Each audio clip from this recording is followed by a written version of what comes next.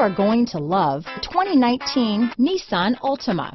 The Nissan Altima offers advanced features to make life easier, and most of the features come standard.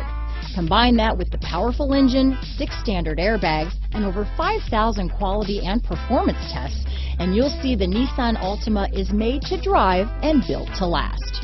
This vehicle has less than 20,000 miles. Here are some of this vehicle's great options. Power passenger seat, traction control, navigation system, dual airbags, alloy wheels, power steering, four-wheel disc brakes, center armrest, rear window defroster, power windows, electronic stability control, security system, compass, fog lights, heated steering wheel, heated front seats, trip computer, panic alarm, brake assist. Searching for a dependable vehicle that looks great too?